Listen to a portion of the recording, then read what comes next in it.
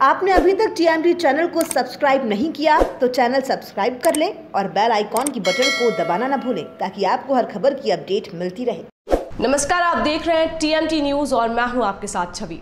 विदिशा ज़िले के सिरुंज में प्रशासन की लापरवाही से एक वृद्धा को अपनी जान से हाथ धोना पड़ा। मिली जानकारी के अनुसार प्रशासन ने सिरुंज सब्ज़ी मंडी के बाहर साइड रोड का निर्माण नहीं किया है उसी कारण वह से गुजर रहे स्थानीय निवासी काशीराम को पत्थर से ठोकर लग गई जिस कारण वह नीचे गिर गए और उनकी मौके पर ही मौत हो गई।